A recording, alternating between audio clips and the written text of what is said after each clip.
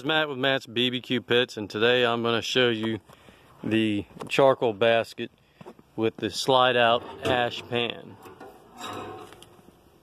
See here we got this nice thick basket. Here's the ash pan.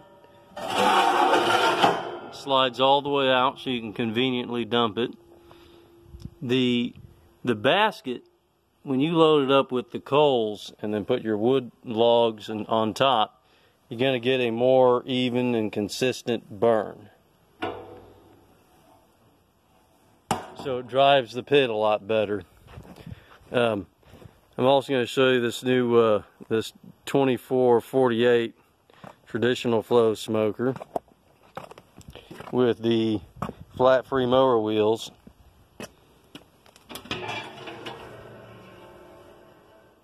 You can get it with or without the tuning plates, so uh, we'll be able to price it with or without them.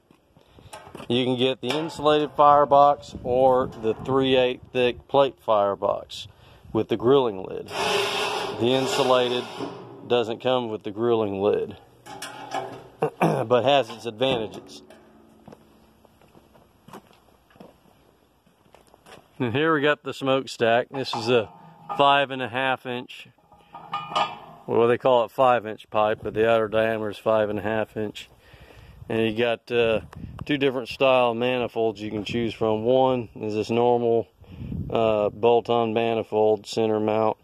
You could also get that real wide collector manifold as well uh, for for an upgrade. So you can check with us on pricing for that. Of course, we made it with the drop down shelf. We got two thermometers mounted on it. And we got the drain tube with the ball valve and the counterweight. This is Matt with Matt's BBQ Pits. Hope to see you soon.